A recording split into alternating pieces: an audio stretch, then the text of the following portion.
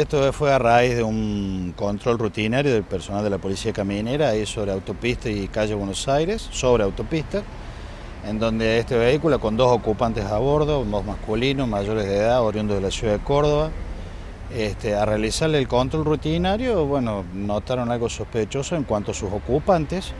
los cuales este, decidió personal policial eh, realizar un control más exhaustivo del vehículo y bueno, se toparon con, esta, una mochila, la cual estaba en el capo del, vehículo, del capo de, digamos, de la tapa del, motor. Una mochila con, con, una importante cantidad de dinero, estamos hablando de casi un millón de pesos, lo que es entre pesos argentinos, dólares, peso boliviano, euros, este, peso, el nuevo sol peruano este, reales, bueno, un montón de dinero de distintas nacionalidades, de distintos países,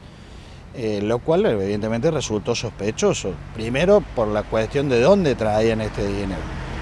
Ante ello,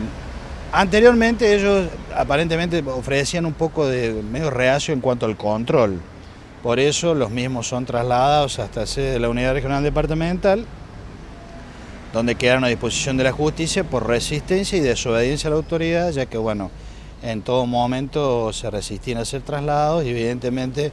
hacían caso omiso a algunas directivas que le daban los funcionarios que estaban realizando el procedimiento. ¿Intentaron huir?